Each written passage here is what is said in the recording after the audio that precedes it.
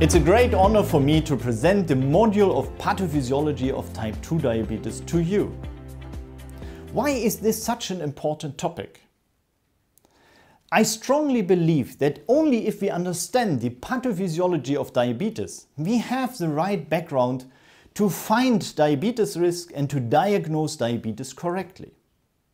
Furthermore, only with the understanding of pathophysiology we have the optimal basis for performing the right diabetes treatment for the patient. But why are people getting diabetes? The answer is insulin resistance. Insulin resistance means that the insulin the pancreas is producing is not acting correctly anymore. The reason for this is that the receptors for insulin on fat or muscle cells are not functioning or are missing.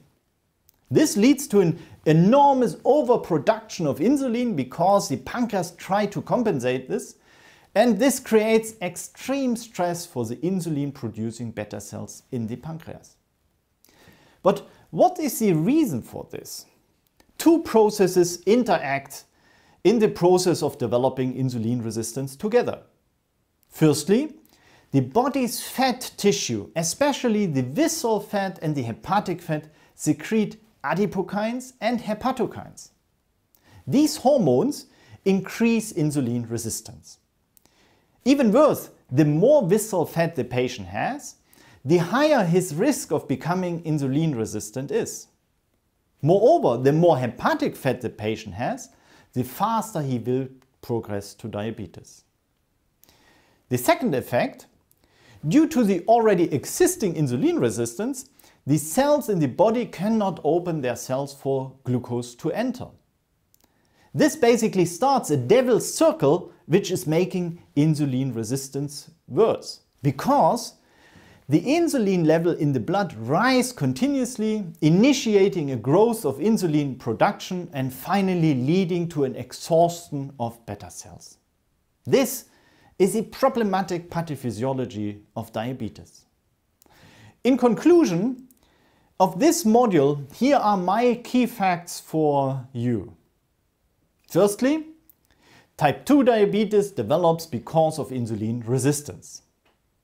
Secondly, the presence of visceral fat and hepatic fat make the patient getting more insulin resistance and also a more aggressive kind of diabetes.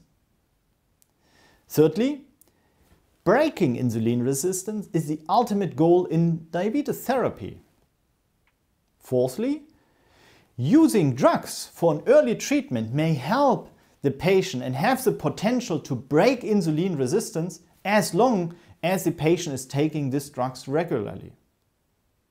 Finally, increasing physical activity, especially daily physical activity, is the most natural way of breaking insulin resistance and this has the most sustainable long-lasting effect for our patients.